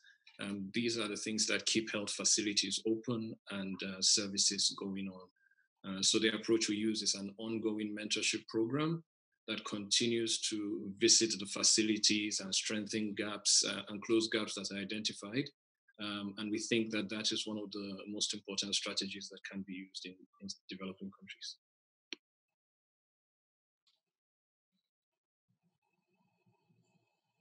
All right. Um, uh, Dr. Bullock, I'm going to uh, pose a question from Jules Levin. Um, so the question is around kind of uncertainty about whether or not HIV is a, a risk factor for COVID. Um, some studies suggest that it's not a risk for infection, um, uh, but that may be confusing because many uh, people living with HIV may have many comorbidities that, that result in, in greater risk. Um, so, do you have any comments for the community on, on how they should and, and, treating physicians on, on how we should view the risk for COVID in patients living with HIV? Sure. There are a lot of descriptive data about people with HIV um, and what happens with COVID. And from much of the world, there does not seem to be an independent risk conferred by HIV itself. Um, Jules is right to point out that people living with HIV, particularly in 2020, may be older, which is a risk factor, or may have comorbidities uh, such as diabetes and cardiovascular disease. And we know those are risk factors for the development of more severe COVID. The one exception in terms of HIV cohort studies the world over, again, is the Western Cape. And they published their data that HIV seemed to be an independent risk factor, regardless of people taking antiretroviral therapy. Um, for so there was a risk factor for an increased risk of mortality from COVID. Uh, but again, that has not been seen in the in Europe or the United States. So I think we need to to learn more. But almost surprisingly, HIV did not seem to be an independent risk factor. Okay, a question about use of Vero cells. So these are uh, kidney cells, African green monkey. Um, could use of these cells explain why some promising in vitro candidates didn't translate um, when used in clinical studies? I, I can take that, Jen. Um, it's um, it, it is um, it's it's a cell line that is uh, has been in culture I think since the 60s or the 70s. The my my my in vitro team tell me they're like leather is the way they uh, describe them. So they they they they're not an ideal model, I don't think, and I think that is borne out in the recent literature. And there's several groups uh, establishing uh, culturable cell lines, which, which, are human cell derived, such as the CALU3s and um, uh, and even HUH7 hepatic cell lines. There's also a lot of work um, being done on uh, organoid models and lung epithelial uh, cell lines, which may provide better models.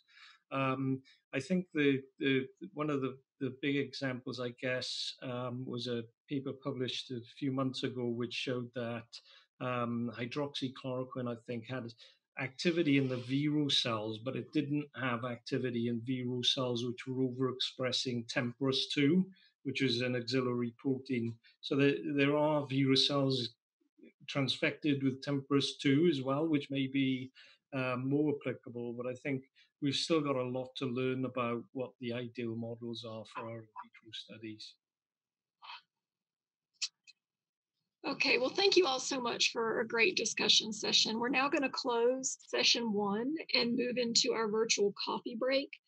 So um, take a moment to familiarize yourself with On Air, but there's a meeting hub there, and that's a good place to connect with your colleagues. Thank you. Thanks. Thank you. Thank you. Thanks, everyone.